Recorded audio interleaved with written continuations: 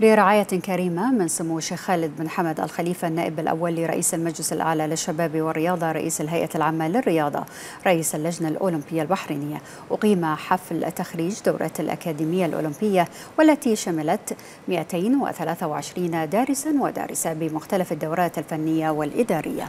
وخلال الحفل تفضل سموه بتسليم شهادات التخرج للدارسين والدارسات في البرامج التالية. دبلوم الإدارة الرياضية. دورة المستوى الأول والثاني والثالث والرابع للبرنامج الوطني للمدربين.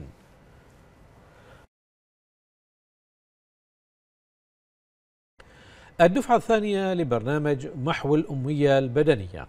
الدورات التخصصية كما كرم سموه الرعاة والمساهمين في دعم برامج الأكاديمية الأولمبية.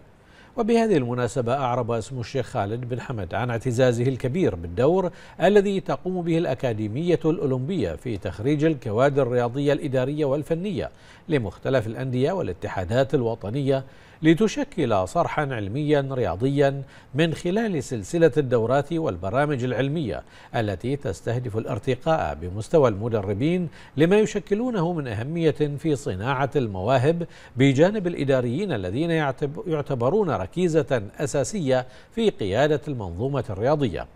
وأعرب سموه عن سعادته بتخرج هذا العدد من الدارسين والدارسات وهو ما يعكس المكانة والسمعة الطيبة التي تحتلها الأكاديمية الأولمبية في ظل ما تقدمه من برامج علمية رياضية عصرية. بالتعاون مع كوكبة من المحاضرين المحليين والدوليين وبالشراكة مع كوكبة من المعاهد والجامعات الرياضية الدولية لتخرج نخبة من المدربين الذين أشرفوا على قيادة أكبر الأندية والمنتخبات الرياضية ونخبة من الإداريين الذين تبوأوا أرفع المناصب الرياضية محليا وخارجيا. وأكد سمو الشيخ خالد بن حمد آل خليفة أهمية مواصلة التحصيل العلمي والمعرفي لجميع الخريجين لتطوير قدراتهم بما ينعكس على مخرجات العمل الرياضي متمنيا للخريجين دوام التوفيق والنجاح.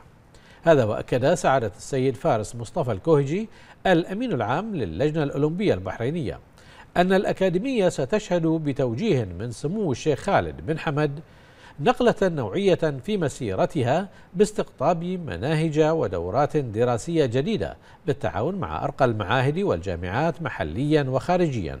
فيما أعرب مدير الأكاديمية الأولمبية الدكتور نبيل طه عن فخره بأن تكون الأكاديمية امتدادا لرؤية جلالة الملك المعظم مؤكدا الاستمرار في تحمل المسؤولية ورفع سمعة ومكانة الوطن عاليا.